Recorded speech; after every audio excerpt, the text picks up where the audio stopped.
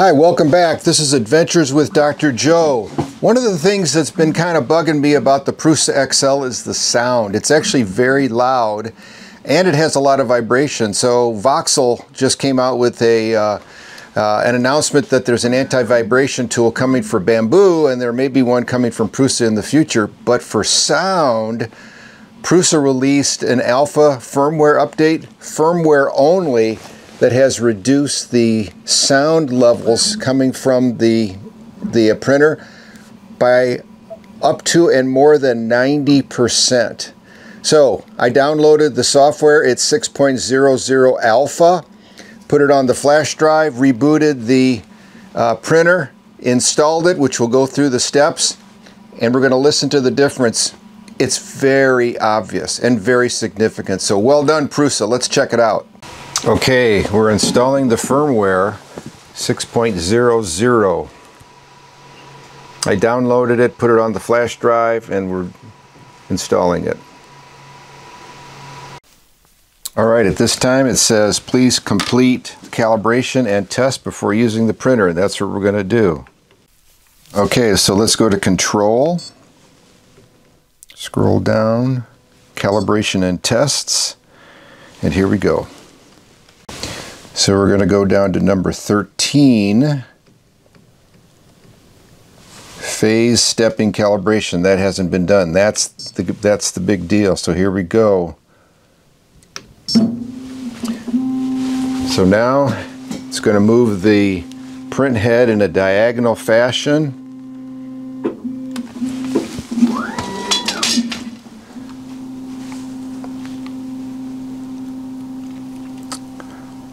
It's going to calibrate it. So there it's got tool 1 and it's calibrating the x-axis. I'm going to open up this enclosure so it's easier to see. There we go.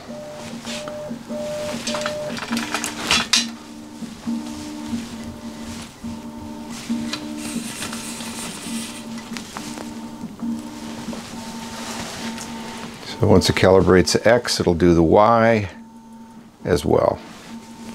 And this is supposed to reduce the sound, the resonant vibration by more than 90%. We're going to check it with a decibel meter. All right, now it's calibrating the Y.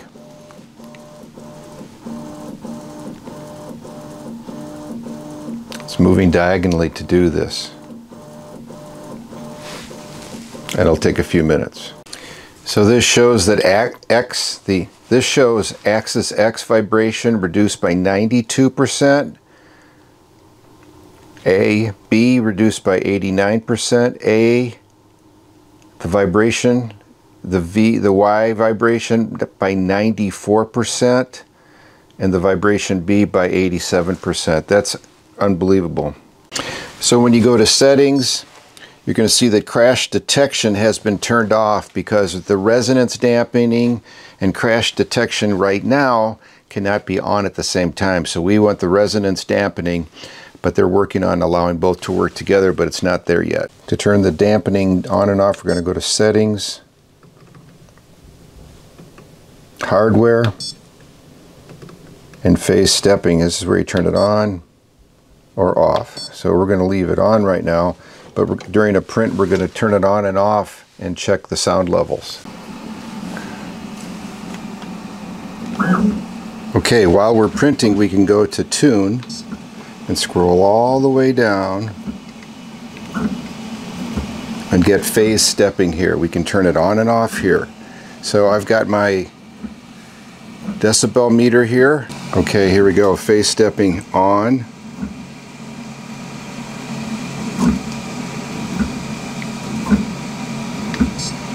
Phase stepping off.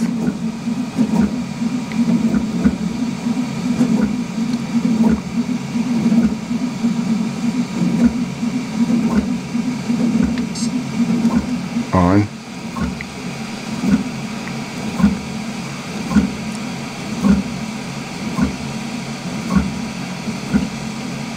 It is considerably quieter. I am really impressed.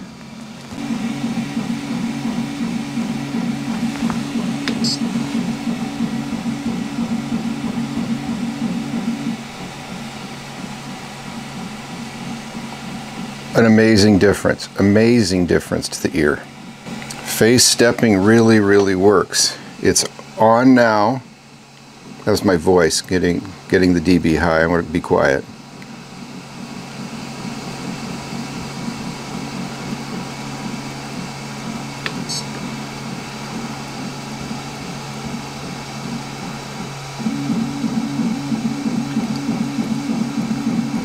off. Big difference.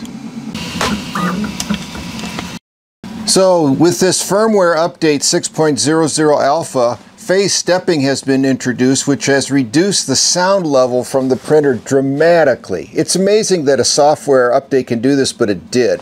It's real, it's, it's worthwhile downloading, I highly recommend it.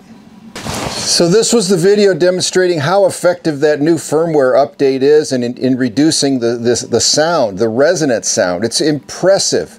And you can hear you can hear it clearly, clear as day. Uh, if this was helpful, please click thumbs up, consider subscribing. Thank you.